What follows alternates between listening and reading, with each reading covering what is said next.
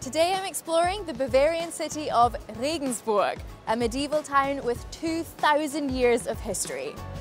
The old town with its historic buildings survived the bombs of World War II. It has a connection to the devil and is a great spot to get into German sausage. Doesn't it look like something straight out of a fairy tale? The cathedral spires, the river, the red roofs. It's giving medieval core to the max and it's also close to one of Germany's most important national monuments, the Walhalla. So let's go and explore. Regensburg lies on the Danube River. It's an easy train ride from Munich, Nuremberg, or Frankfurt. The city is located in Germany's south, and here's why it needs to be on your bucket list. Firstly, the whole of the old town is listed as a UNESCO World Heritage Site. I'm starting my day here in the Old Town at the St. Peter's Cathedral, which is under construction, okay, but we're working with it.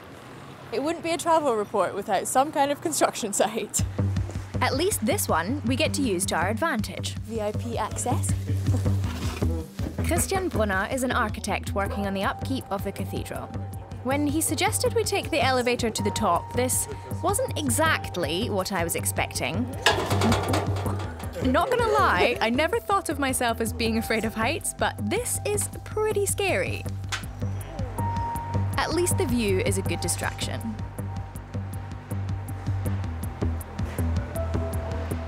So this is quite a huge and impressive cathedral for a fairly small city. Can you tell me a little bit about the history of it? Yeah, so, so the cathedral you can see today started its work in 1273. Before uh, there was a Romanesque cathedral, but it burned down. And you are right, the, the cathedral is pretty big for Regensburg, but it's not as big. The cathedral is around uh, 90 meters long. Uh, inside uh, are around 38 meters of height, and the towers are around 105 meters. So comparing to the city, the cathedral is big. Comparing to other cathedrals, to other Gothic cathedrals, it's average or small. I heard that the cathedral is inspired by the likes of Notre Dame in Paris or the Cologne Cathedral. Is that true? It is connected, sure. Uh, the Kölner Dom, Notre Dame, that's, that's for sure. Strasbourg, um, so the Gothic wasn't invented in, in Regensburg. it, it, it, comes from France and like you said, it was inspired from these cathedrals. Americans, for example, love these kind of old style European cathedrals and medieval cities. Do you have any particular countries that stand out to you where you're surprised that maybe people are coming to Regensburg? No, no. I, I, there would be no surprise.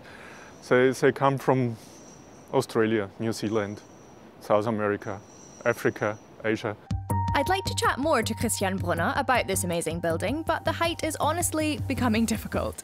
Yeah, uh, I think I'm ready to go back down. like I've been on a boat or something. Shall we take a look inside?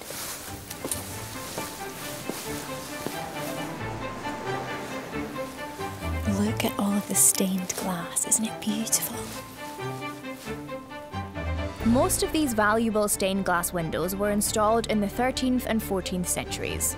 They were all taken out during the Second World War for protection, so what you see here today are still originals.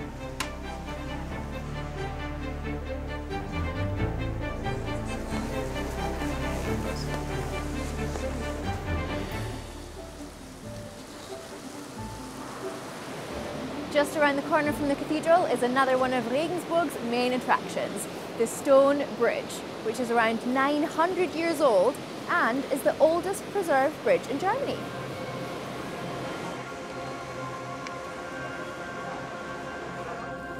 Legend has it that the bridge builder made a pact with the devil to finish the bridge. The devil said he would help in exchange for the first three souls to cross the bridge. When the bridge was finished, the bridge builder sent a dog, a hen, and a rooster. And the devil was so enraged that he tried to smash the bridge apart and that's why it's bent. Indeed, it does look somewhat crooked. Across the bridge, there's the tiny island of Stadtamhof. It was once a separate medieval village, and now all of these colourful buildings are protected by UNESCO. Cute!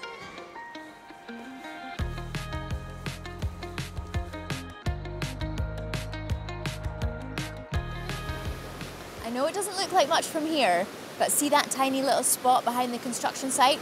It's supposed to have the best Bavarian sausages in town, so let's go and get some food.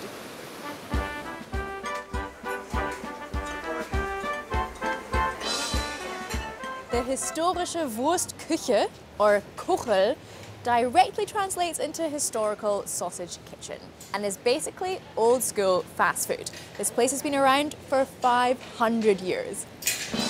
This is where the stonemasons and dock workers of Regensburg would come to have their lunch. The place has barely changed over the centuries. It still has the same open charcoal grill, homemade pork ham sausages, and sauerkraut from their fermentation cellar. Good vibes all round.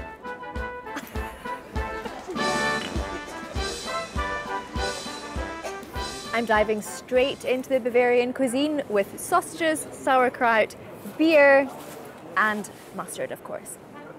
FYI, it has to be sweet mustard. I feel like the more time I spend in Germany, the more into sausages I get.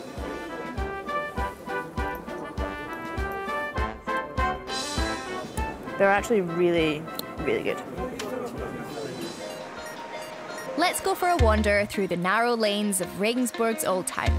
There's so many historical details like clocks, murals, doors, and signs.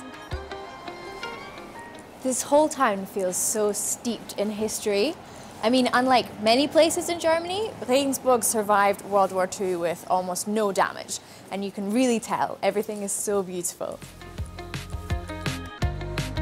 There are also lots of beautiful artisan shops with handcrafted items.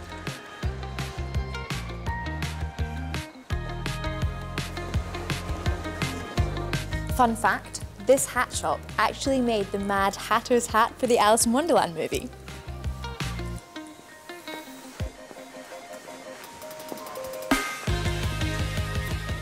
For the end of my trip here in Regensburg, I'm headed somewhere pretty special.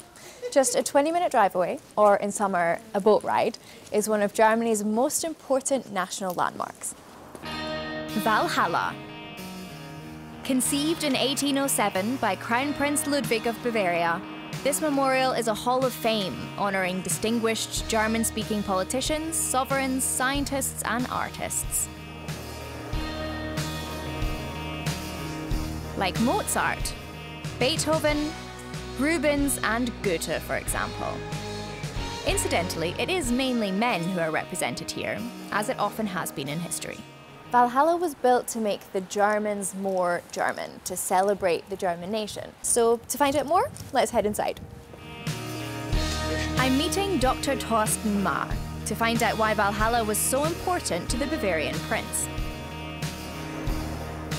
Crown Prince Ludwig just thought we should stick together if there are external danger.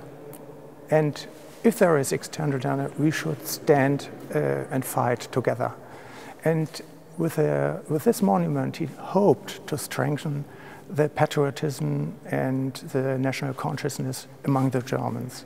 You can not only see busts, even memorial plaques, and both together are commemorating um, notable figures who together embody the greatness of Germany. That's what the idea.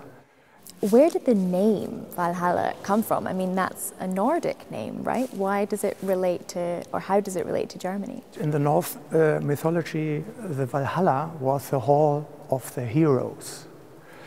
And in the hall are all these brave or the bravest warriors fallen in battle. They were coming together.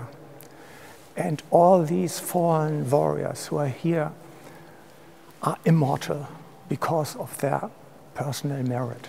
Ludwig took the characteristics for his own Valhalla. So, how does Walhalla hold a, a valid place in German thinking and society nowadays with Germany's history?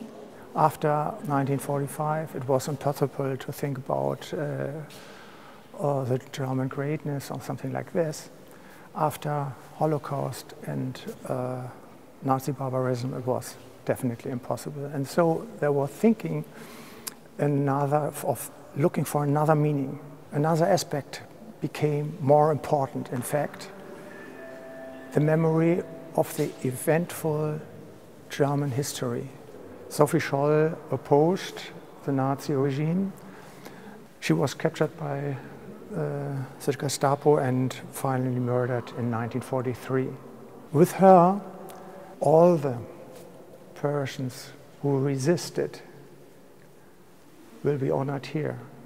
In memory of all brave persons who resisted against violence, injustice, and terror of the Third Reich, which includes all persons and individuals who are not known by name yet, or we don't know the name yet. But that's very strong. That means everybody who resisted. And so we get politics into the Hall of Fame or the Walhalla, and it's not the Hall of Fame, it's the Hall of Memory. And so that's what it is today.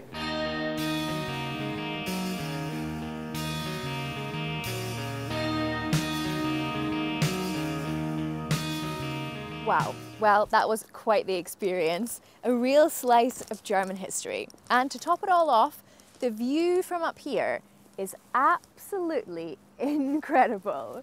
What a way to end my trip here in Regensburg. Tell us, what was your favourite part about my trip here? Let us know in the comments.